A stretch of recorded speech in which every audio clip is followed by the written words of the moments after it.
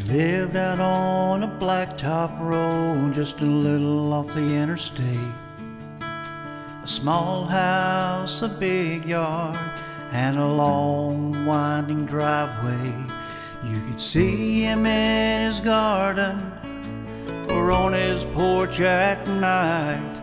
Just a simple man, nothing fancy, just barely getting by.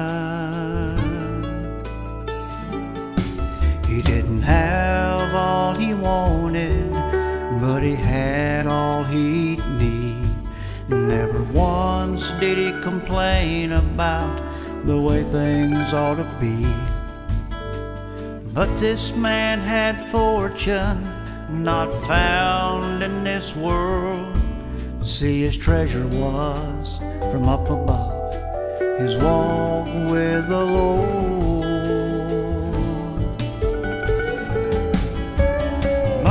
Don't just make a man out of silver or gold. It's only found in what our human hands can never hold.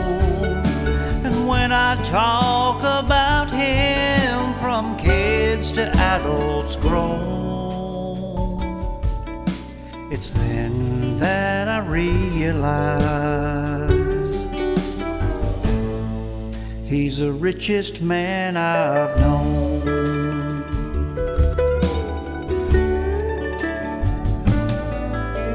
He always had a smile to give, never slow to lend a hand.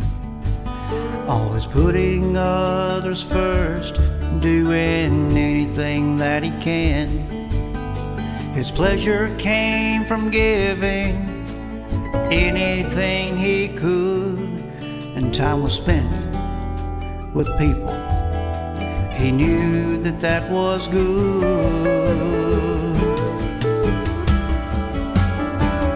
Money don't just make a man out of silver or gold.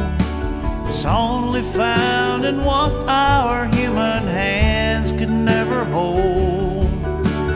When I talk about him from kids it's then that I realize he's the richest man I've known. Money don't just make a man out of silver or gold. It's only found in what our human hands can never hold. When I talk about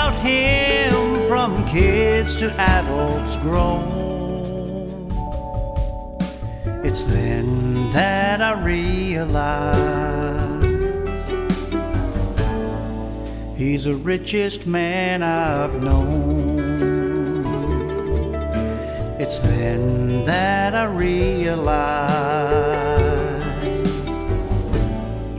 he's the richest man I've